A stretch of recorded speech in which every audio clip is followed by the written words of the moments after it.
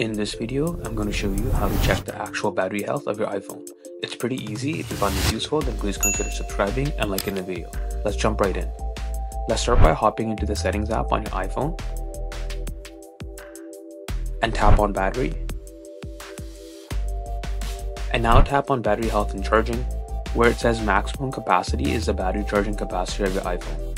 But this isn't the actual charging capacity. Let's get the actual battery health of your iPhone. Go back to the home screen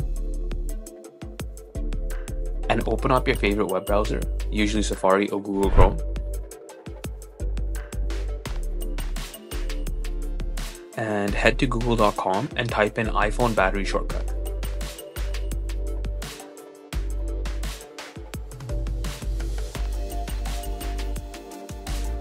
Let's select the results from Pay It Forward. Scroll down and select Battery Stats shortcut.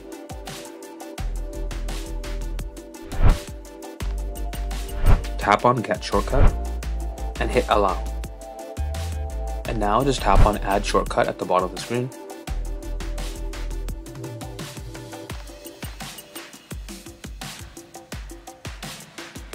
And now let's head back to the home screen and once again open up the settings app. Scroll down and select privacy and security. Now scroll down and select analytics and improvements. Now select Analytics Data. Now find the file with the most recent date. Tap on the file and you will get a page with a bunch of analytics. Don't worry, this will make sense soon. Click on the share button on the top right, and now in this pop-up menu, scroll down and select the icon that says battery stats.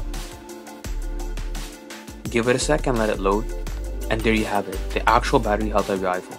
And the bottom stat is the one you want to pay attention to. It reads relative to when it was new, your battery capacity is blank percentage.